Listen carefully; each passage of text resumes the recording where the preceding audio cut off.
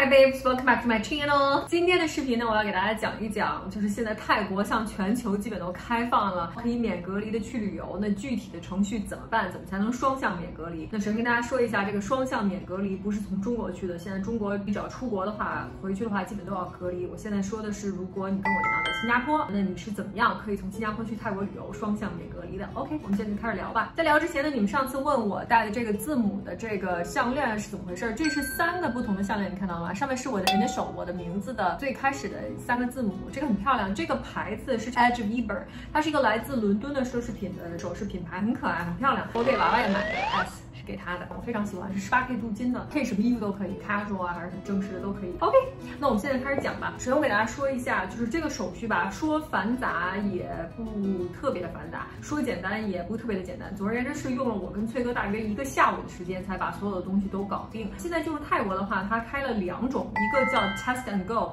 一个叫 The Sandbox Program。Test and Go 是你可以 test 完了，然后去申请它一个叫泰国的 Pass，泰国通行证 Thai Pass，就是直接可以走的。Test and Go 你就是去哪里都行。Sandbox 是泰国的几个度假的岛，比如说普吉岛和苏梅岛和清迈这几个岛。我自己走的是 The Sandbox Program，因为我申请的时候 Test and Go 是被暂停了，现在 Test and Go 也开了，所以如果你感兴趣去别的地方的话，如果你只想去曼谷，那其实你就不用走那个 Sandbox Program。我现在主要讲的就是 The Sandbox Program。如果你想去普吉、清迈啊、苏梅岛这几个大家比较常度假的岛屿怎么办？首先第一点你需要的就是你一定要是打了疫苗的。那它所承认的疫苗很多，像莫德纳、辉瑞，还有中国生物和科兴，它都是承认的。如果说你打了这些疫苗，你就 OK 了，这是其一。其二，你要申请一个叫 Thai Pass 的东西。这个 Thai Pass 就比较麻烦一点，因为它需要的 documents 很多，而且它需要三到五个工作日才能给你批下来。所以你在网上申请的时候，你一定要准备好所有的你这些 document。申请 Thai Pass 需要什么呢？首先是你的这个 vaccination certificate，就是你的疫苗证明。疫苗证明你是一定要开好的，你要上传到它这个网站上啊。还有就是你订的泰国的酒店，而且 Sandbox Program 规定你一定要待七天以上，你才能从这个地方离开。所以你去一两天是不行的，你要待七天以上。我自己是待了八天啊。然后七天以上，你所订的酒店一定是它叫 SHA SHAR 这个 level 的，或者一个叫什么 Quarantine Facility，那个我不太清楚。但是大多数比较高级的度假村呢啊，它都是 SHA approved，所以基本你订就是比较好的度假村都没有问题的。还有就是你一定要往返的机票都要订好，也要给他看。另外还有他要求你走之前先做一个 pre-departure COVID test。然后你到达泰国的机场，你会再做一次核酸检测；到达你度假村第五天的时候，会再做一次核酸检测。然后你在飞离泰国之前，它应该还有一次，但是那个你就不用做鼻子的那个核酸检测，你做那个 ART 就是快速的那个。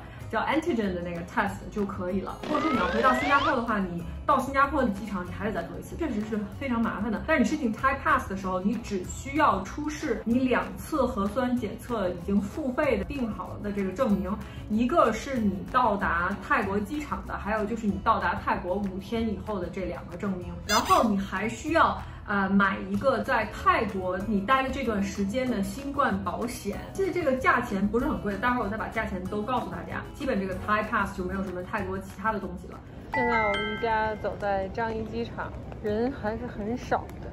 我们每个人都戴了面罩，在两天前做了核酸检测，出发去普吉岛。上一次去普吉岛是一七年的四月份，小娃娃已经睡着了。崔哥虽然不跟我们去，但是他送我们去。给大家大致看一下樟宜机场，曾经是亚洲不是最繁忙，也是极大最繁忙，是前两个吧，不是香港就是这儿，萧条多了。但是新加坡已经算忙的机场了，因为它基本那个免隔离通道这些重要的国家全开了，只是说还是跟平时不一样啊。从新加坡飞到普吉岛大概一个多小时，所以我们所有的人这次都飞经济舱，因为票也买晚了。但是小娃娃第一次有了自己的座位，所以应该不算太困难。经济舱的 check in 都没人，只有我们和对面一家。飞哥不跟我们去，我太难了。那我们现在再来讲一讲，就是入境的这个流程。你入境了以后，实际上是非常非常快的。那如果你手持中国护照的话，你可以选落地签，落地签根本就没有人。那我们到那里去办落地签的时候，大概也就三分钟就搞定了，他什么都没要，就是让你填了个表，然后落地签你要每个人交两千两百泰铢，大约是五百多块钱人民币，这样把你的签证拿到就 OK 了。落地签跟免签实际上是没有什么区别的。我知道如果旅客很多的话，你肯定要等。我们去的时候基本没有旅客。而且他当地就是管理的还是很好的，一步一步带着你走，你一点都不会觉得不知道该怎么办，每一步都有人接洽你，而且你很快的就出关了。我们因为要办落地签，所以会比别人那些免签的要稍微慢一点，但是其他的人的话，刷刷刷刷就都走了。出关的时候也是一样，非常非常非常快。OK，我们现在已经到普吉岛的机场了，现在大家都坐在这儿等着。大家看一下，所有到达的人都坐在这儿。先把所有的证件、所有的手续。OK，好，我们现在办完了落地签证，过了关，现在去取行李，接下来是核酸检测。然后你出来之后，他就会有你酒店里的人来到那儿接你，想知道你住在哪个酒店，然后他直接就会把你带到酒店去。然后我跟大家讲一讲，就是从新加坡走了回来免隔离，你需要什么手续？第一，当然你也是打了疫苗，因为你要走一个叫 VTL 的这个航班，就是 Vaccinated Traveling。现在比较讨厌的一点是，新加坡跟泰国之间只在曼谷有这个 VTL，所以你如果直飞到普吉岛是没人管你的。如果你从普吉岛回来的路上也是直飞的话，那你就不能走这个 VTL，你还是要隔离，所以是不行的。所以我们就是在普吉岛待了八天，然后普吉岛。飞到曼谷，从曼谷再飞回新加坡，这样就会辛苦一点，但是也没有办法。这样回来的话，你就可以免隔离，因为新加坡和泰国之间只有曼谷跟新加坡有航班是免隔离的。然后再讲一讲，就是我们所住的酒店。这次我们住的是 JW Marriott JW 万豪酒店。那在那边有很多个万豪酒店，一个是 Marriott，一个是 JW Marriott，它是不太一样的。这几个都是合格的 SHA 的这种酒店，你都可以住。但是我们最后选 JW Marriott 是这几个当中应该是他说是最好的。那我们就住进去了。到了以后，你当天晚上是要办好了你所有的这些手续，就回到房间。你理论上来讲是不可以出房间的，因为你在等你的核酸检测结果。我们当天是六点钟晚上才到的酒店，然后我们等于就回房间，然后在房间里点了吃的，就一直每个人都在房间里待着，就没有出来，因为我们是不可以出来的，要等我们转天的核酸检测结果。哎，我们现在刚刚到，小娃娃一直在闹，闹得我头都疼。已经晚上了，人很少。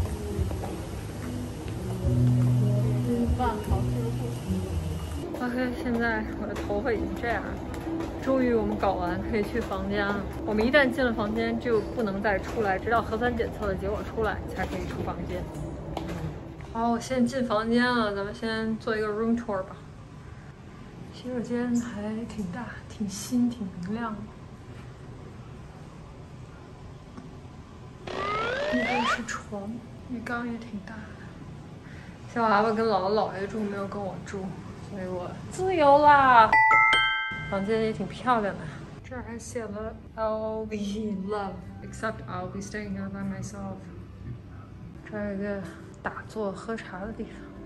那转天早上起来，那个酒店的人跟我说，如果八点钟的时候他还没有把核酸检测你在泰国机场做的这个核酸检测的结果发给你，那你就要给他们打电话，他会帮你去追问。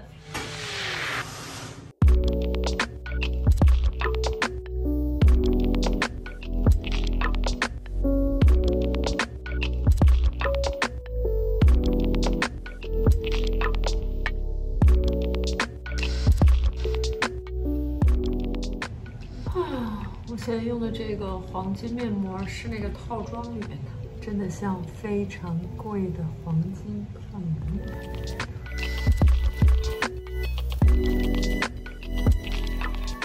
我今天早上核酸检测已经十几个小时了，还没有收到 email，我就给前台打了个电话，他帮我查了两个房间，然后全部都是 negative，太好了！崔爸崔妈估计小娃娃还在睡觉，人家早起床了，两个。三个、四个、五个、六个、七个、八个、九个、十个。哦，你会用个的是吗？真棒！我给大家看一下我房间外面的景色，房间外面的景色还是不错的。我把小阳台打开了，能够看到吗？这里是海滩。嗯，我这个应该是比较便宜的房间，所以没有什么太惊艳的景色。OK，现在我核酸检测阴性以后，就可以在整个普吉岛到处逛了。昨天刚到普吉岛的时候很累，我十一点多就睡觉了，但不知道为什么今天早上四点多我就醒了，然后就怎么都睡不着。这个的价格大约是一千七百块人民币一间房间一天，然后包含早餐。当时呢是翠爸翠妈一间，我和小娃娃一间这样定的。然后最后其实小娃娃都是跟翠爸翠妈睡的。其实这个价格还是非常的值的。那现在我看了看 JW 万豪啊，在三亚的价格差不多就是四千多人民币。所以说泰国普吉岛的 JW Marriott 比三亚的 JW Marriott 要便宜了一半还多。然后我再跟大家讲一下总体的这个 cost，就是花的钱。机票的话呢，其实我们飞的都是非常短途的。从新加坡到普吉岛只有一个半小时，然后普吉岛到曼谷是一个多小时，然后曼谷回来差不多是两个小时，所以都是非常短的。我们就全部飞的是经济舱，从新加坡飞到普吉岛，从普吉岛飞到曼谷，再从曼谷飞回来，等于是这样一个三个这种这种绕弯的飞的方式，一个人相当于三千多人民币。因为小娃现在已经超过两岁了，所以他需要自己的座位。实际上他的机票也跟成人的机票价格相差不多，大概是三千多块钱人民币，所以也不是很贵的。就是整个这么飞的话，也算是还 OK。那我再讲一讲，就是其他的 cost，其他的比较多多的就是核酸检测，还有你要到了酒店之后坐酒店的车去核酸检测的这个花费。核酸检测的价格，你走之前在新加坡做的这个是一百五十新币，大约是七百五十人民币，确实很贵，一个人哦。新加坡就是两岁啊，如果你刚刚今年还是两岁，你不需要做，但是两岁以上的小孩。就都需要做，然后到了曼谷以后，他下飞机坐的那次和你后来坐的那次差不多是一千泰铢，也就是两百多人民币一次，那两个加起来大概是五百多人民币。然后最后你走之前那天做的那个 antigen 那个简单快速出结果的那个，那个是五百五泰铢，大概是一百多块钱人民币。如果你不知道走之前该定你在哪里的核酸检测，实际上它那个网站上就有定，你直接跟着那个申请 Thai Pass 的那个网站，你就可以去申请了。如果你不知道，你一 Google 就立刻就。出来了。如果你还是不知道的话，你可以打电话给 JW 万豪，然后他可以帮你去定啊，在当地要做那个核酸检测。那其实我住的这个地方离我们第二次做核酸检测的地方比较远，就是你到了第五天要做的那个。那那种情况之下呢，你就要从酒店叫一辆车去，然后你回到新加坡到了机场，你还要再做一次核酸检测，然后那个也是一百五十新币，一百五十新币是七百多人民币。所以这几个人的呃所有的核酸检测加起来也要几千块钱，所以你不要把这个忘记了。而且你到那儿以后，酒店派车去接你，这样往返大约是一千五百多泰铢，那就是三百多人民币。中间第五天去开车再去做这个的时候，你也是一千多泰铢的这个往返车程，因为你要雇车他带你去嘛。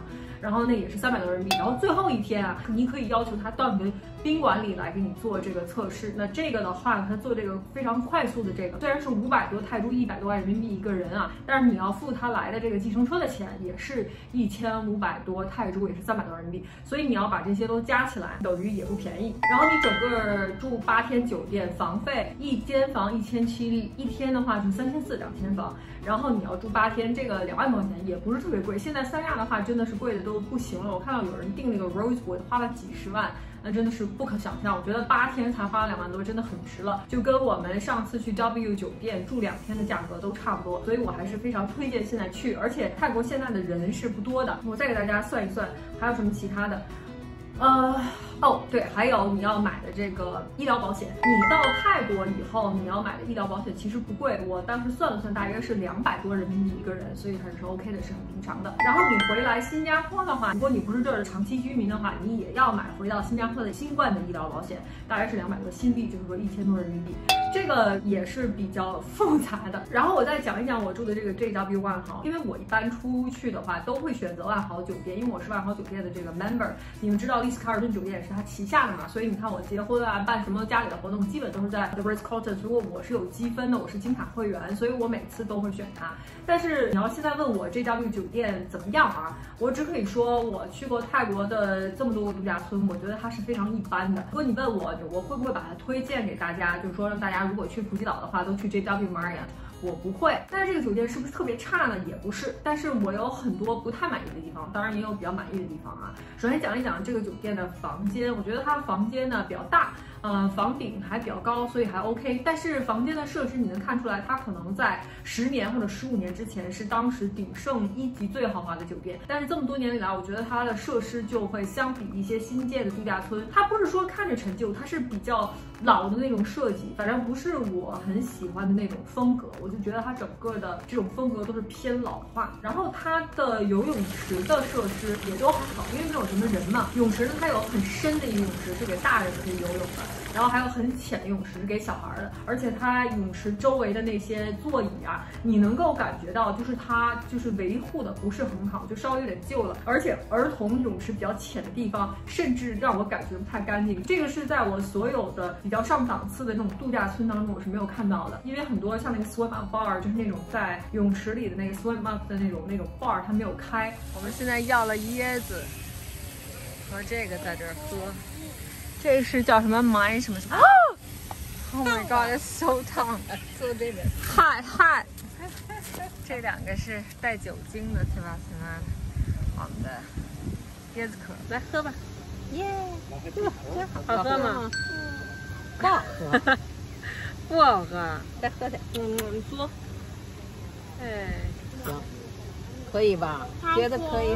太甜？太甜？不甜，这新鲜椰子汁不甜。嗯，怎么样？太甜。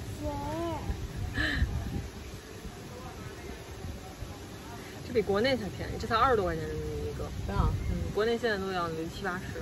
给妈妈来喝喝。嗯，仨来喝。好喝吗？嗯嗯。Yummy. Yummy。Yummy. Yum yum yum yummy。哎，妈妈有痘。妈妈有个痘痘是吗？妈妈长了个痘痘。咱俩黑汤姆。好的。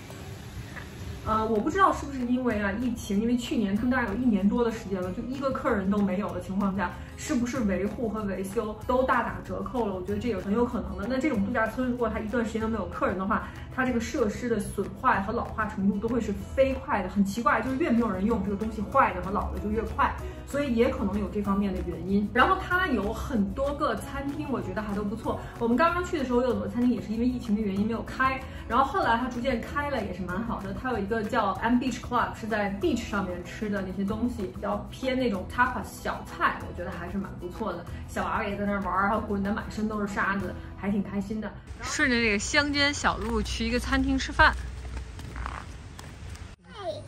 爱嗯，C D I，D S S C L。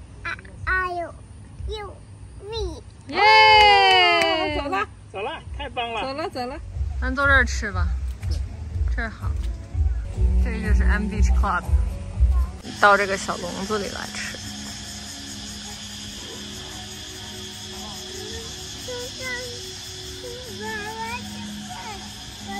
来了，好喝吗？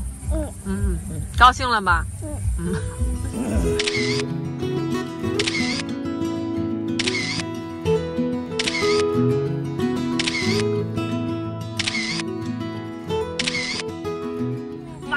都是沙子，妈呀！走那么一会儿，你干嘛了？哎呦，妈耶，浑身都是沙子！哎呦，满脑袋都是。回家了，走了，不作了，快点吧，走了，别吃啊！吃啥我打你啊！完了吧？别动，别动，别摸我，几声都是了啊。先闭眼。边儿，哎呦，脸上都闭眼，别睁眼啊！睁眼就卡住了啊，对，给我闭上眼睛，闭住了，闭，使劲闭闭使，劲闭眼睛，使劲闭住，使劲闭眼睛，使劲儿。哎，对对对，使劲，对。不行，别睁开，闭上眼睛。哎，对对对对。如果你去这家度假村的话，我会推荐去它那个 Benihana。Benihana 是一个日本的铁板烧，它实际上在美国很多个州都有啊，就是大家都听说过的一个这种连锁的这种吃日本铁板烧的地方，它算稍微高档一点的吧。那我跟翠爸、翠妈、小孩四个人去，花差不多是将近一千块钱一个人吧。就是一顿饭，那四个人去差不多三四千块钱，包括酒水，所以价格不算便宜，但是也不是说那种贵的离谱，它算高端一点的。然后 M Beach Club 就相对于便宜很多。那我们不怎么喝酒的话，大概我们三个大人一个小孩也就吃个六七百人民币。现在全家去吃我最喜欢吃的那个 Benihana，这是在美国的一个连锁日本铁板烧，很酷炫的一个，刚刚开业。爸爸，咱们走了。真懒呢，宝贝，带那么多呢。Benihana the Japanese Steakhouse。娃娃挑一个吗？再给挑一个，娃娃挑一个娃娃。拿手一挑，就挑一下。你看他不喜欢，算了。来挑一下，你看这个。好了好了好，OK。，Thank you。一份儿。这个要要三份儿烤，三个烤的烤的这个是凤这个它每一个烤肉里面都给一份汤，一个沙拉，这汤还挺好喝的。我们要的龙虾 sushi yummy，看起来还挺好吃的。 What's your name คะชื่ออะไรคะ What's your name? What's your name? What's your name? Why are you so stunned? You get a chef chef hat. Oh, you got a chef hat too.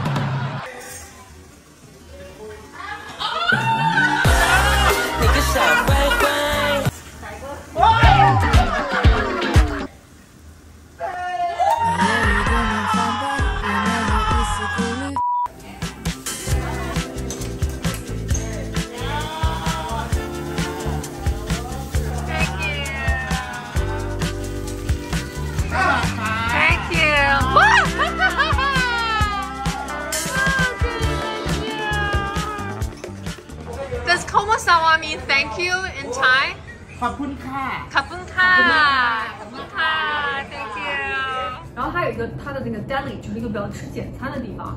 那有一些比较很普通的泰国菜，什么各种咖喱啊，什么 pad thai 啊，这种我们都吃过了。今天晚上吃 pad thai，炸鱿鱼圈儿，鸡翅，是顶多吃了一半儿，还想。冬阴汤，冬阴汤。现在大部分的这个餐厅都关门了，所以没有什么太多的选择。从下个星期才开始多一点。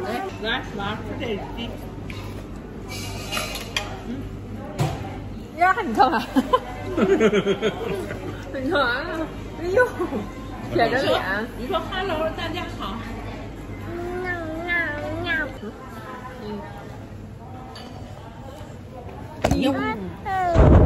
哇塞！哇塞！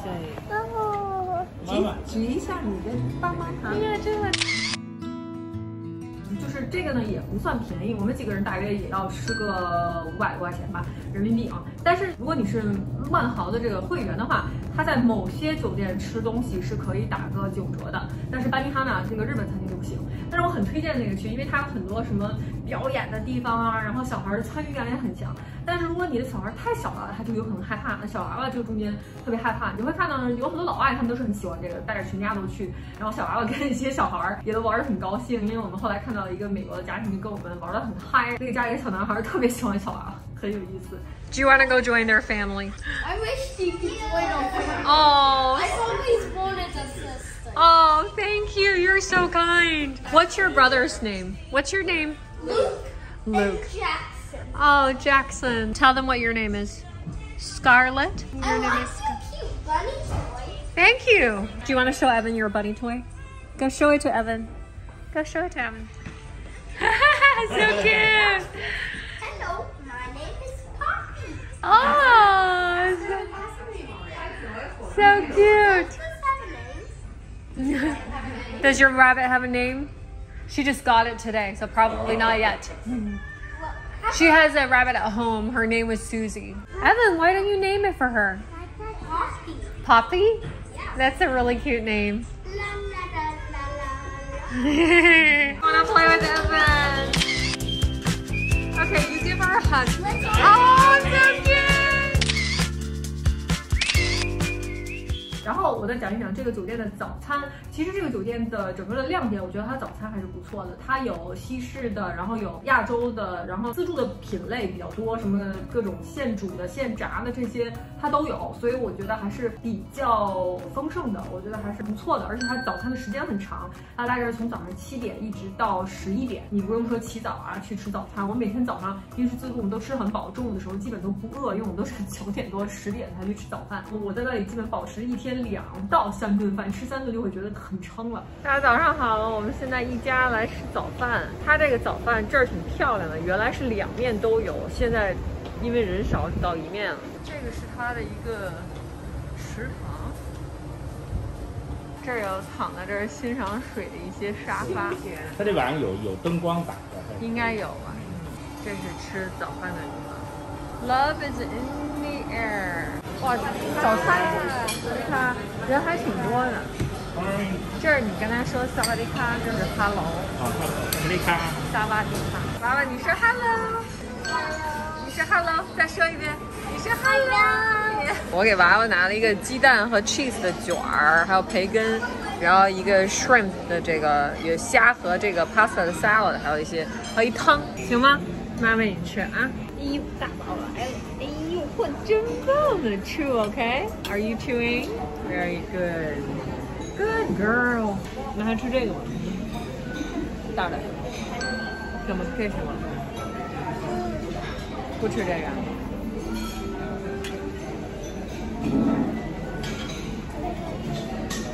吃这个吗？你尝尝，不好吃你再吐出来。啊，太大太大。好了，小了，小了。你要看这个？这有一个这上面让我的蛋看一，下你都要什么我都要什么？？Eggs Benedict，嗯有嗯，一大堆蔬菜。对，一大堆蔬菜，娃娃爱吃这个，我给娃娃拿西兰花来。啊，吃吧。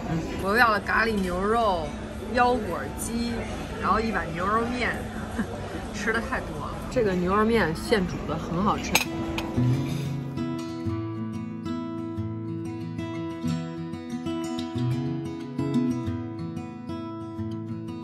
都吃完了，跟翠爸去看看有什么甜点。这个泰国的大米奶和豆浆，我要了一个这个 chia seed，然后剩下的都是水果啊，licorice juice，一类 blueberry smoothie，这是我的 chia seed 的 yogurt。吃自助餐很容易就吃多。总而言之，我觉得这个酒店它原来可能是小孩的这个客人很多，带家庭的很多，所以很适合带孩子去。它每一个餐厅都有儿童座椅，每个地方都有给儿童的东西，所以这一点还是比较好的啊。还有就是它的海滩，它的海滩基本就是没人的，但是呢，它海滩上也没有任何的这种设施在。就是以前我去墨西哥的那些度假村的时候，它海滩上都会弄得很漂亮的那种躺椅啊，或者各种小岛啊，什么那种床啊什么的都给你铺好了，在海上你可以在那儿休息，还可以遮阳。但是这个海滩就是荒无人烟的海滩，就是就是海滩，没有别的，景色很漂亮啊。然后小娃娃玩沙子玩的也很开心。现在带娃娃和翠爸翠妈，我们去海边溜一溜。咦，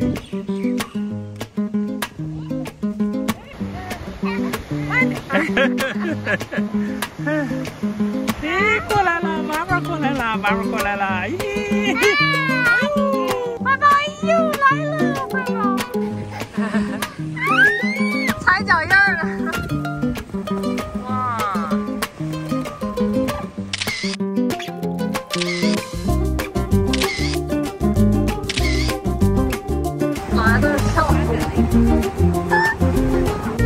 记得崔爸曾经立下的 flag 吗？以后还是给大家唱一唱的我所喜欢的阎维文、于金剑啊的歌，再一个给大家跳一点舞，让大家欣赏一下。下面请欣赏崔爸独舞。你送一个红军，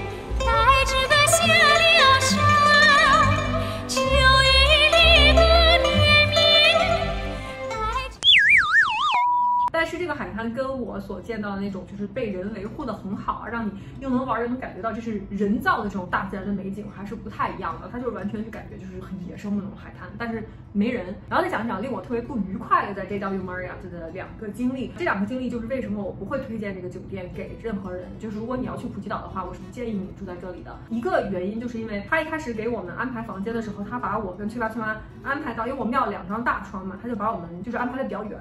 不过这个也无所谓了，就是因为如果我宁愿住的稍微远一点，也不愿意分两张床的这种，因为我怕小老虎滚下去嘛，所以需要大床是比较好的。他把姥姥爷安排到了就是整个最最最后面的就是走廊最尽头的那个房间，也不要紧，这都无所谓。但是后来呢，这个房间的 WiFi 坏掉了。这个酒店的 WiFi 覆盖还是很好，你无论在泳池还是在海滩，你都有 WiFi 的信号。但单独就是那间房间没有。然后我就给他打电话，我说，哎，你的这个房间的 WiFi 坏掉了啊，能不能帮我们修一下或者怎么样？然后那个酒店的接电话的这个女生呢，他就一直让我上 WiFi，然后让我换我的密码。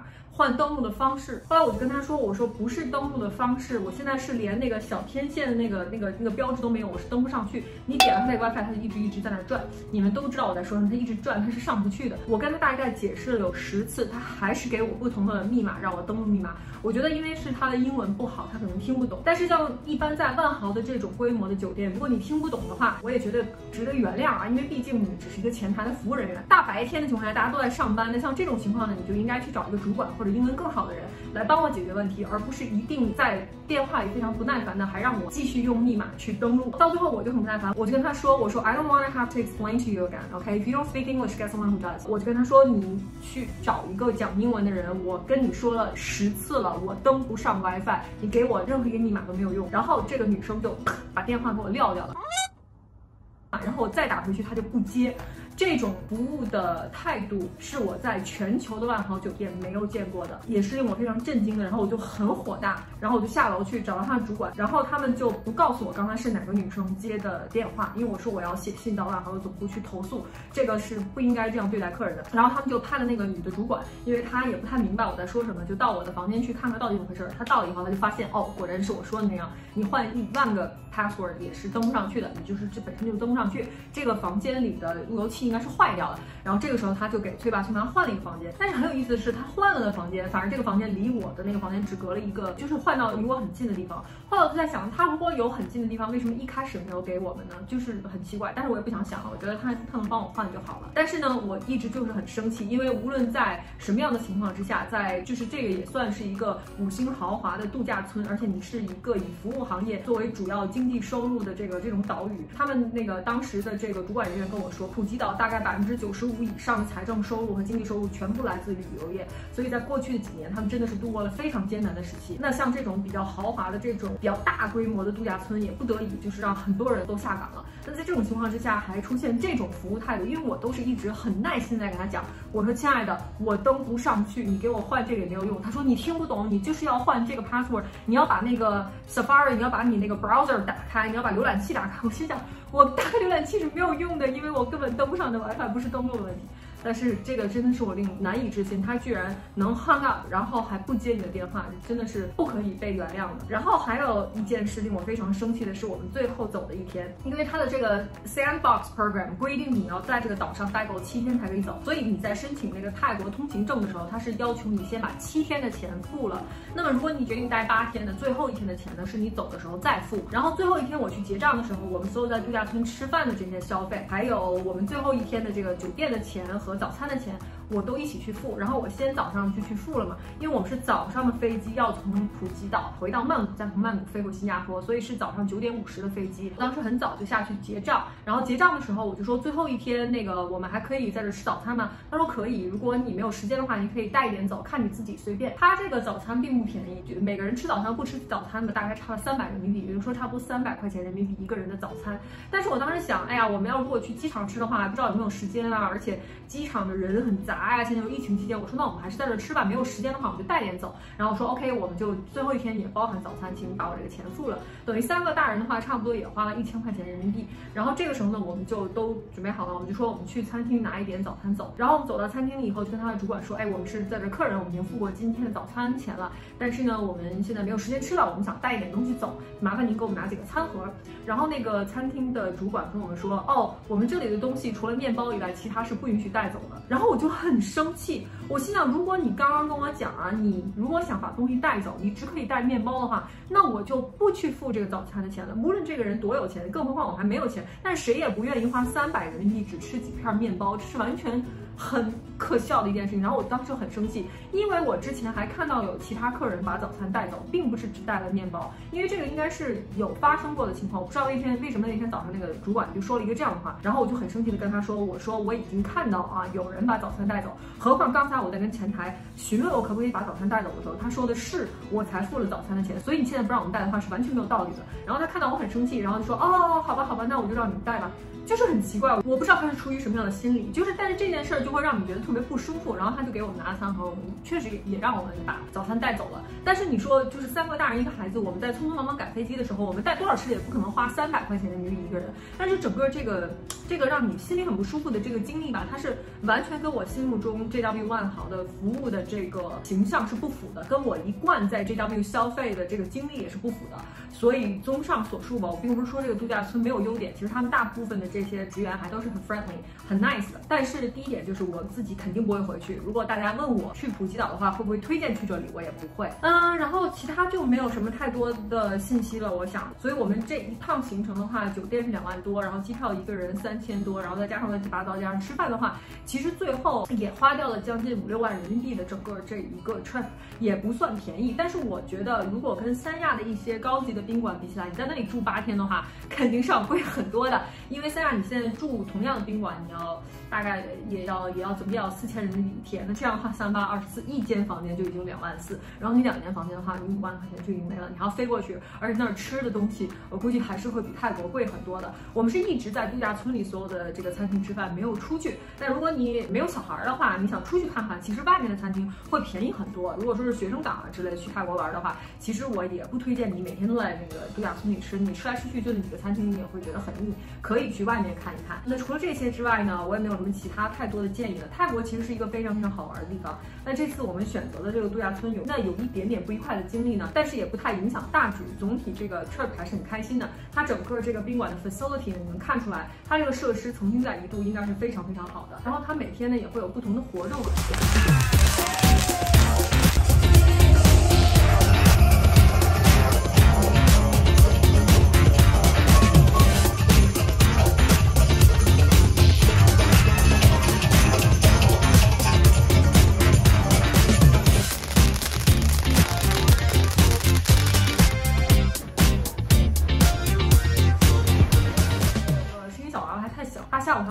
所以很多的活动我们都没有办法参加。那如果你不带小孩子来，或者说你的宝宝大了，那其实你的参与感啊和整个的经历都会比我们觉得要好。所以在这里也仅供大家参考。那如果你在中国的话啊，你来新加坡也是不需要隔离，你甚至都不用打疫苗，然后你可以从新加坡去泰国，然后再回新加坡，你还是不用隔离的。问题就是你回国的话，还是躲不过隔离。那在此我们也是希望疫情赶快过去，然后中国也可以把大门打开啊，也设立这种打完了疫苗之后免隔离的通道，然后可以随心所欲的去全世界玩，好不好？